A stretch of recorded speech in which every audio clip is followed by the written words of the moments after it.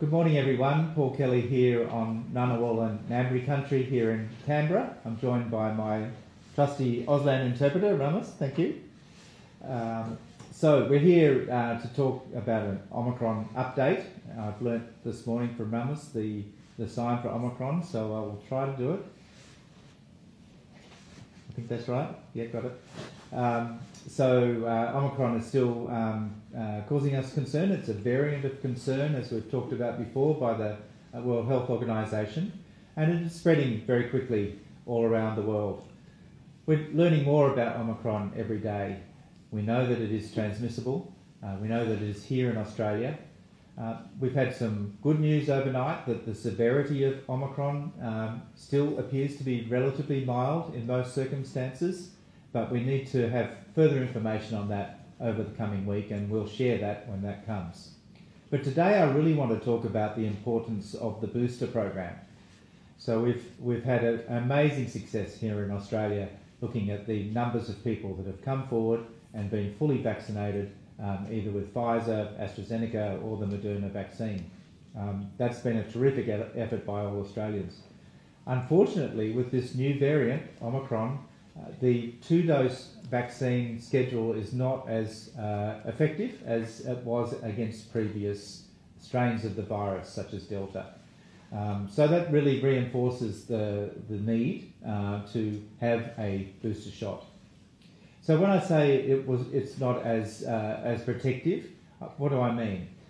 There, there are two protections we get from vaccination. One is, of course, our own protection for ourselves against severe disease, um, and that actually does uh, continue. Uh, we've got good evidence now that with two doses of Pfizer um, in particular, but also the other, um, the other vaccines, um, that does retain some protection against severe disease.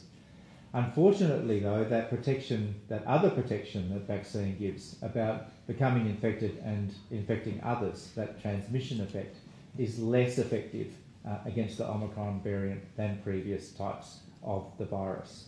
Um, so it's really important not only for your own personal protection, which is boosted by the booster, uh, but also for protection of others about that transmission effect um, to get that booster when you are due for that. So, in recent days, two important uh, changes to that program. Uh, the first one is you can now get a booster with Moderna or Pfizer, which opens up that possibility to anywhere vaccines are available, whether that's a pharmacy, a GP surgery, uh, an Aboriginal co community controlled um, clinic, other points of presence, as well as the state and territory um, clinics around Australia. All of those places are now giving booster shots. And we're seeing people come forward very, very quickly.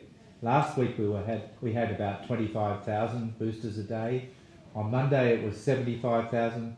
Yesterday it was 96,000. So there's certainly a large increase in people coming forward. So my main message today, if you have had uh, your second dose um, five or more months ago, you are now due for a booster. Make that appointment today.